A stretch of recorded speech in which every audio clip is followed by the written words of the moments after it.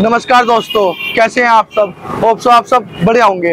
दोस्तों, आपने hot dog बहुत खाया होगा, लेकिन आज हम आपको लेकर आए हैं नंदग्राम गाजियाबाद में। यहाँ मिलते हैं आटे वाले हॉट डॉग मतलब कि जो बेस होता है ना, बन का जो बेस होता है, आपने मैदा वाला खाया होगा। लेकिन जो आज हम खिलाने वाले हैं, वो है आटे का बन। जो कि आपने शायद ही कहीं खाया होगा। तो आज हम इसी बीच में अपने सब्सक्राइबर के कहने पर आज हम आपके यहाँ पे आए हैं, कृष्णा हॉट डॉग वालों के यहाँ पे। तो आइए चलिए, हम पूरी रेसिपी शुरू से लेकर एंड तक दिखाते हैं। वीडियो को कंटिन्यू बनाए रखना मगर मज़ा आ जाएगा, लाल देख देख के तब टपकेगी तो चलिए वीडियो को स्टार्ट करते हैं। चलिए। तो आगे भैया जी के पास। हेलो भैया। क्या नाम भैया आपका? जुगनू। तो भैया पहले तो ये बताइए जो आप जो आटे वाला हॉट डॉग जो बना रहे हैं आप आपके माइंड में ये कंसेप्ट कैसा आया? भैया जी काफ़ी कस्टमर थे जो आना बंद कर दिया था जिम जाने के बहाने से। जी तो मतलब ये आटे वाला जो हॉट डॉग है जिम वालों खाते ज़्यादा? हाँ। जी। ये जिम वालों के लिए होता है। अच्छा अच्छा। हाँ। तो टेस्ट कैसा होता है इसका? बेटर होता है फिर आटे का स्वाद है। जी। फ़ायदेमंद है। जी। कोई नुकसान नहीं है। जी। ये होता है इसमें। जी। तो आपके पास आटे आटे के हाँ। बंदे या साथ में मैदा का भी है? का भी होता है मैदा का भी होता है। अच्छा। हम्म। तो आप हमारे लिए कौन सा लगाने वाले हैं? कौन सा आप खाओगे। तो आटे का ही बनाइए आप। तो चलिए हम आपको दिखाते हैं पूरी रेसिपी शुरू से लेके एंड तक। हाँ हाँ जी भैया तो मैदा वाला कौन सा इनमें से? मैदा वाला ये होता है सिक्स पीस का आटे वाला चार पीस का होता है। जी कौन से ब्रांड का है? मुस्कान? ये हार्वेस्ट गोल्ड मुस्कान गाजियाबाद में होता है जी। ये ऑल इंडिया होता है। जी तो गाइस आप देख सकते हैं जो इनका जो बन है बन की क्वालिटी भी ए वन है मतलब कह रहे हैं कि इंटरनेशनल बन है। हार्वेस्ट गोल्ड का बन है इनका। कहते हैं कि इनका बन आपने अगर खा लिया ना तो आप उंगली तक चाटते रह जाओगे। बाकी हमारे हमारे से तो रुका नहीं जा रहा हम जल्दी से जल्दी अपना बन लगवा के आपको टेस्ट आप तक पहुंचाते हैं। तो गाइस आगे हम भैया जी के पास। हेलो भैया। क्या नाम भैया आपका? जुगनू तो भैया आपको कितने साल से लगा रहे हैं आप यहाँ पे बर्गर बारह साल। बारह साल से। तो ऐसे भैया आपने क्या सोचा कि आप आटे के बर्गर लगाएँ? जैसे बहुत से हमने मैदा के खाए हैं लेकिन आपके यहाँ सुना है कि आप आटे के हॉट डॉग देते हैं। आपके माइंड में कैसा कंसेप्ट आया ये वाला? बहुत कस्टमर ऐसे हैं जो जिम जाते थे जी। जिम जाने से के टाइम पर खाना छोड़ दिया उन्होंने। अच्छा अच्छा। उन्होंने कहा यार उन्होंने मना किया कोच ने। हाँ जी। तो उनके फरमाइश पे आटा बर्गर लेकर आए। अच्छा तो बर्गर आपका मुस्कान का ही है? Harvest gold. हार्वेस्ट गोल्ड का। और जो आपका मैदा का बर्गर है वो? मैदा का भी हार्वेस्ट गोल्ड। Harvest Gold. आप गाइस देख सकते हैं मतलब बर्गर की क्वालिटी तो ए वन है जेनवन वाली। बाकी एक बार हम भैया से एड्रेस पूछते हैं। भैया यहाँ का एड्रेस क्या होने वाला है? ये नंदग्राम परशुराम चौक। नंदग्राम परशुराम चौक। गाजियाबाद। गाजियाबाद। तो भैया आप हमारा बर्गर लगाइए आप। तो आप गाइस ये देख सकते हैं ये कस्टमर के बर्गर लग रहे हैं। ये मैदा के हैं।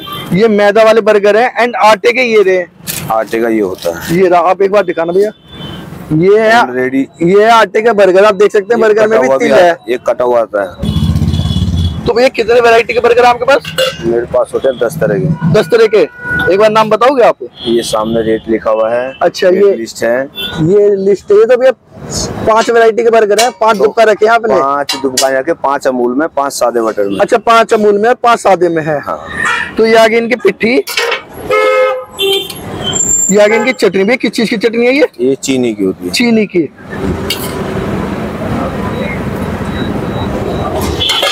ये आपकी होती है थाउज़ेंड आइसलैंड बर्गर में हो। ये होती है चीज़ ब्लेंड जी। तो गाइज़ आप देख सकते हैं, इतनी वेराइटी की डिशेज आपने कई बर्गर में डलती हुई देखी है। मैं कहूँ बड़े बड़े रेस्टोरेंट भी फेल हैं इनके बर्गर के सामने।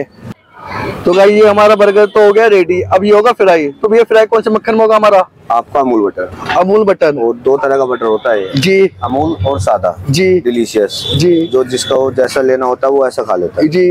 तो प्राइस में फ़र्क आ जाता होगा? प्राइस में फ़र्क होता है फिर ये फैट फ्री होता है फ़ायदेमंद भी होता है. जी. कौन सा कौन सा डिलीशियस वाला? हाँ अच्छी है. तो ये हो गया कस्टमर का बर्गर रेडी अब हमारा बर्गर रेडी होगा। भैया का भैया जाते हैं यहाँ पे चार बजे और चार बजे से लेके रात के दस बजे तक भैया के हाथ ऐसे चलते ही रहते हैं। और भैया का कहना ये है जैसे अगर मान के चलो भैया के पास अगर दस या पंद्रह कस्टमर भी आ रहे हैं तो भैया ऐसी बनाएँगे तीन तीन चार चार करके बनाते हैं। क्योंकि उसमें क्या है मक्खन जो टेस्ट होता है ना अंदर अंदर तक पहुँचता है क्योंकि इकट्ठे बनाएँगे तो मज़ा नहीं आता। क्यों बोल सकेगा लास्ट आठ बनाता हूँ बस। लास्ट आठ बनाते हो। जी। ये आ गया हमारा अमूल मक्खन। भाई, अमूल मक्खन की तो बात ही कुछ अलग है। वही वाह। आप देख सकते हैं।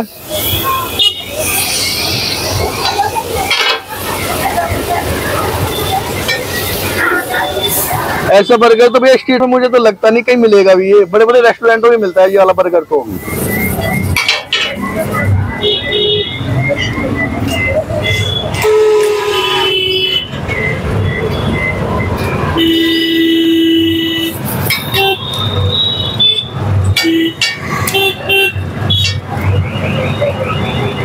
गाइस आप देख सकते हैं कितना डिलीशियस लग रहा है।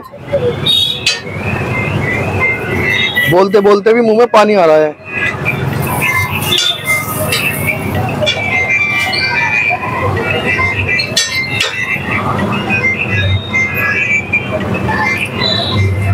हमने अपना अकेला बर्गर अकेले में बनवाया जिससे कि और भी ज़्यादा भैया पूरे दिल से बनाए। मेरे दिल से तो सबके लिए बनाते हैं।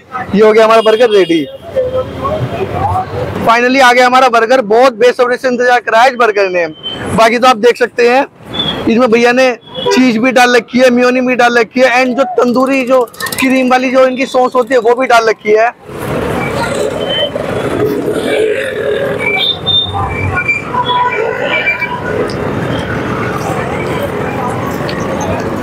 डिलीशियस बहुत ऑथेंटिक टेस्ट है। इस टेस्ट के सामने मेरे को मैदा करो टेस्ट कुछ लग ही नहीं रहा। इतना लजीजदार है। हमने बर्गर तो बहुत खाए लेकिन इस बर्गर का कोई तोड़ नहीं है। नेक्स्ट लेवल वाला टेस्ट है। एंड ये नहीं कह रहा मैं वीडियो के वीडियो बनाऊँ तो इसलिए बोल रहा हूँ। बाकी में जैन में नहीं, बेहतरीन वाला टेस्ट है। हमने बर्गर बहुत जगह खाया अच्छे अच्छे रेस्टोरेंट में भी खाया स्ट्रीट फ़ूड में भी खाया मतलब सस्ते से सस्ता, महँगे से महँगा भी खाया। लेकिन इस बर्गर का कोई तोड़ नहीं नेक्स्ट लेवल वाला टेस्ट है। अगर आपको इस बर्गर का जायका उठाना है तो इस बर्गर के जायके का टेस्ट उठाने के लिए आपको आना पड़ेगा गाजियाबाद में नंदगीराम परशुराम चौक। वहीं आपको भैया दिख जाएँगे कृष्णा हॉट डॉग वाले। तो आप आना खा के हमें एक्सपीरियंस बताने कि आपको कैसा लगा। बाकी वीडियो को लाइक शेयर सब्सक्राइब करना बोला थैंक यू